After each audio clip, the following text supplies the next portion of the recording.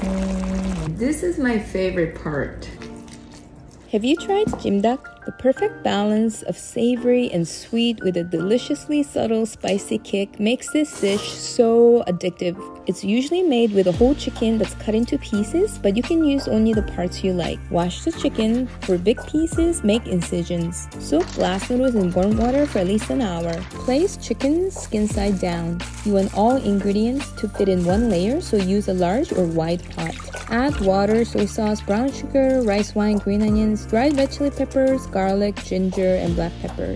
Dried chili peppers add a really delicious kick, so don't skip unless you must. Bring to boil. Once boiling, keep boiling on high heat for 15 minutes. Add 1.5 cup of water, potatoes, carrots, and onions. Bring to boil again. Once boiling, keep boiling on high heat uncovered. By the way, we got a lot of requests to bring back this beautiful large ceramic pot, so we're doing a group buy. Click on my bio link. If you want a darker color like restaurant style, add instant coffee or caramel sauce.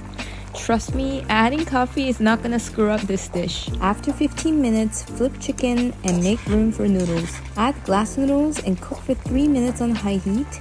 If glass noodles are not soaked properly, it'll take too long to cook here and absorb too much liquid which can ruin this dish. If you don't have time, you can cook the noodles in boiling water first before adding.